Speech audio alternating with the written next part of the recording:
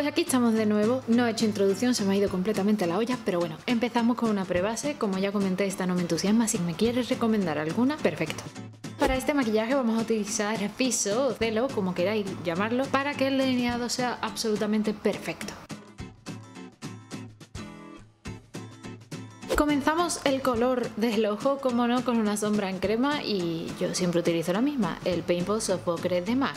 No hay más ciencia. Lo aplico por todo el párpado, ya sea fijo o móvil, hasta llegar a la ceja. Y en este caso voy a utilizar la paleta Naked Basic de Urban Decay, que tiene tonos totalmente naturales. Y el primer color, obviamente el amarillito, para sellar esta sombra en crema que hemos puesto. Y ahora empezamos con marcar y difuminar. Vamos a utilizar el primero de los tonos amarronados para ir marcando suavemente la cuenca. Y seguimos con el marrón más oscurito para seguir marcando la cuenca ya un poco más intensificado. Y ya está, este es el color que le doy al párpado. Yes. Vamos con el delineado. Empezamos con un rotulador o con la técnica de delineado que tú quieras. A mí el rotulador me gusta, pero es verdad que me gusta más el delineador de Inglo, así que utilizo esto para gastarlo. Me es un poco difícil porque está así.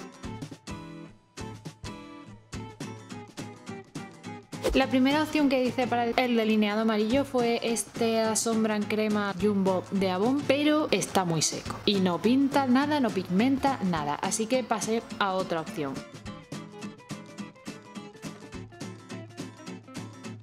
Y es una sombra en crema polvo de estas extrañas de color pop, el tono Telepathy, Telepathy, que sí que tiene una pigmentación preciosa. Y me encanta el tono y me encanta cómo queda el delineado, la verdad. Simplemente delineo con cuidado de no pisar la parte negra.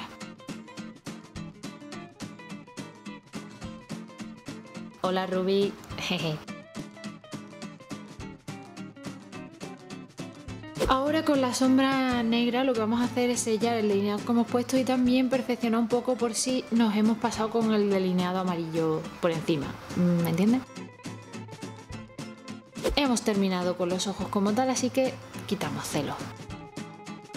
Para el lagrimar, igual que en el vídeo tutorial anterior, voy a utilizar el Jumbo Milk de NYX, que me alucina. Y para sellarlo esta vez no voy a utilizar la sombra de la paleta, sino un iluminador directamente, porque me encanta este iluminador y me parece que queda genial.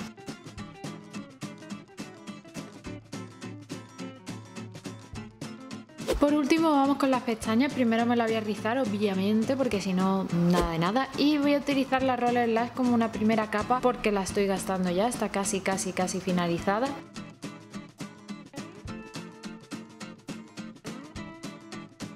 Y como máscara de pestañas principal voy a utilizar la Ball Lash de MAC, que es preciosa. Y ya está, muchísimas gracias por ver el vídeo, espero que te haya gustado y si es así, pues nos vemos en el próximo. Coméntame lo que te apetezca y suscríbete por favor.